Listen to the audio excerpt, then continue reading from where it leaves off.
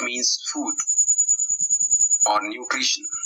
So the process of nutrient enrichment, especially nitrate and phosphate, and consequent loss of species diversity due to the lack of oxygen in a water body is called as eutrophication. So eutrophication could be defined as the process of nutrient enrichment, especially nitrate and phosphate, and consequent loss of species diversity due to lack of oxygen in a water body is called eutrophication. Eutrophication could be classified in two types. One is natural eutrophication. Second could be called as man-made, artificial or cultural eutrophication. We will be studying them one by one. First, we will be talking about natural eutrophication. It occurs in a very long time due to addition of nutrients produced by forest fire or erosion of soil or weathering of rocks. Or in the other words, we can say that factors causing natural eutrophications are such as forest fire, erosion of soil, weathering of rocks, etc. Now coming to the artificial eutrophication. This occurs due to addition of nutrient, especially nitrate and phosphate. And nitrate is generally limited in marine environment. So due to nitrate, eutrophication primarily occurs in marine water. So primarily occurs in marine water. And phosphate is limited in terrestrial water. So that's why we observe that phosphate play major role in eutrophication in terrestrial water bodies. Now we will be talking about types of lake according to their productivity or according to their nutrient availability status. The first type of lake is called as oligotrophic lake. Oligotrophic lake, as all of you are aware, are the lakes which are low in nutrient and low in productivity. These lakes are said to be young and deeper lake. They have high species diversity with rich variety of chlorophyceae means green algae members.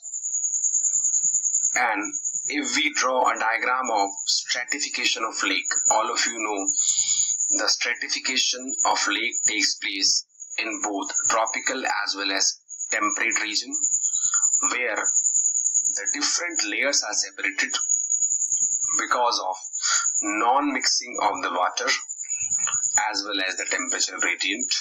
So these layers are the stratification layer in the lakes are the uppermost layer is called as epilimnion. The lowermost layer is called as hypolimnion. The layer in middle is referred to as thermocline. The thermocline is nothing, it is the intermediate layer in which there is a rapid change in temperature. So oxygen generally in the case of oligotrophic lake is present in hypolimnion during summers. Lake though have a low productivity in terms of primary productivity means the primary productivity is low. Primary productivity is nothing, it is the rate of excretion of sunlight by phytoplanktons when we talk about the water body. Blooms are rare. Abrupt growth of blue-green algae means rarely we observe algal bloom. And some of the fishes which are observed in oligotrophic lake are salmonoid fishes. Example salmon and trout and these are the character of generally fresh water. So thermal stratification in lakes we have already explained which is mentioned in the diagram. Now coming to the oligotrophic lake. Here what we have shown, we have shown epilimnion with the help of E, thermocline with the help of T and hypolimnion with the help of H and vertically we have shown the depth and then we are showing the oxygen presence. So if we see the penetration of sunlight in the case of oligotrophic lake, so sunlight is reaching till hypolimnion but the concentration of oxygen which was more in epilimnion decreased slightly in thermocline and hypolimnion but the oxygen is present in hypolimnion in the case of oligotrophic lake oxygen profile in oligotrophic lake has been shown in the given diagram. Now we will be talking about eutrophic lake which itself is very interesting. Eutrophic lake as you can see in the picture the sunlight generally reaches till epilimnion layer and oxygen concentration will also start decreasing in comparison to epilimnion. There will be less oxygen in thermocline and very less in hypolimnion because the sunlight is only penetrated till epilimnion so the rate of photosynthesis will be lesser in thermocline and hypolimnion. So oxygen is absent in hypolimnion in summer in the case of eutrophic lake. Photosynthesis is absent due to the absence of light, therefore oxygen content is decreased. So if we observe some of the observation in both the lakes, epilimnion has high concentration of dissolved oxygen due to surface reaeration.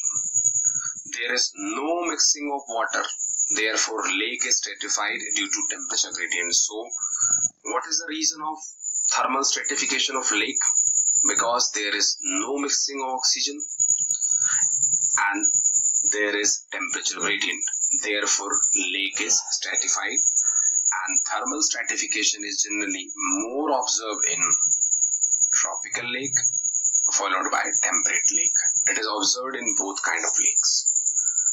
Due to thermal stratification however epilimnion oxygen does not mix with the hypolimnion which we already said that there is no mixing of oxygen in oligotrophic lake water is clear enough that light can that light can penetrate up to hypolimnion. And we have also mentioned that oligotrophic lake is low in nutrient and low in productivity. And thus DO will remain available due to photosynthesis. However in eutrophic lake, hypolimnion does not receive any sunlight as shown in the picture. So oxygen is not produced in absence of photosynthesis. Moreover, the decomposition of dead algae, the algal bloom which was there in the case of eutrophic lake, consumed the oxygen which was present earlier. The other type of the lake is mesotrophic lake these are the intermediate lake between oligotrophic and eutrophic. So lake have an intermediate characteristic between oligotrophic and eutrophic lake. Eutrophic lake have certain more characteristics that they are high in inorganic nutrient and these are old lakes and shallow lakes. They have low species diversity. Low species diversity and oxygen is absent in hypolimnion during summers and they are highly productive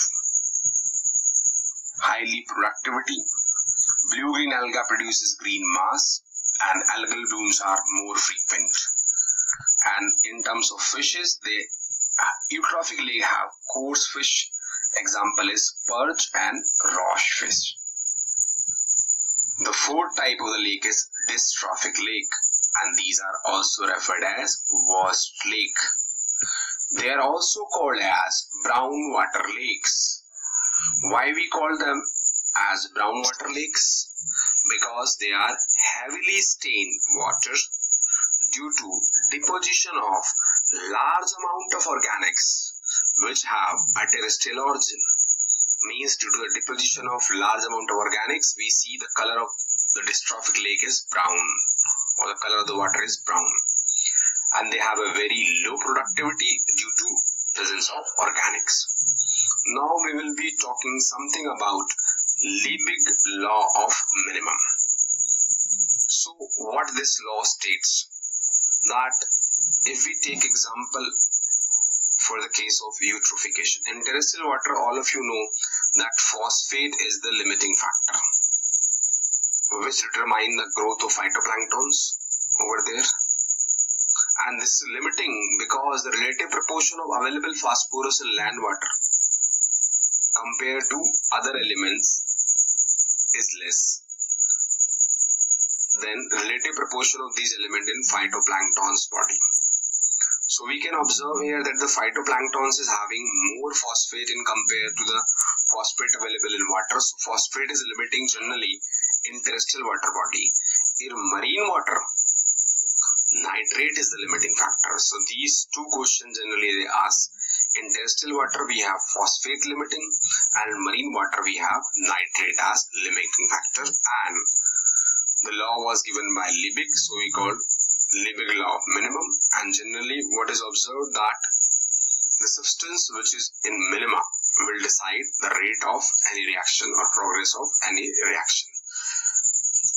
So this was the lecture presented by the team of ASS Science Foundation Delhi. We tried our level best to justify the topic. Hope you enjoy the lecture. Thank you.